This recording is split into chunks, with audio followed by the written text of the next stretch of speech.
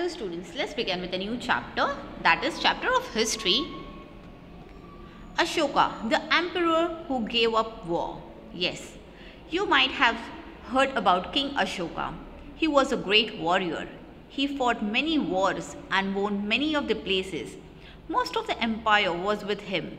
Yes, India's most of the places were being conquered very nicely by him along his grandfather Chandragupta Maurya.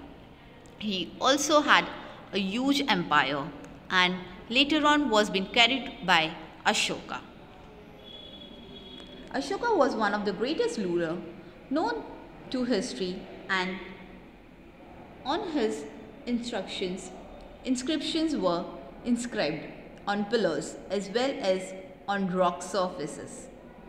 He was been having a very big kingdom which is equal or you can say a very huge empire. In this chapter we are going to study about details about King Ashoka, Ashoka's unique ruler, Kalinga war, Ashoka's teaching as he was the follower of Lord Buddha. Thank you.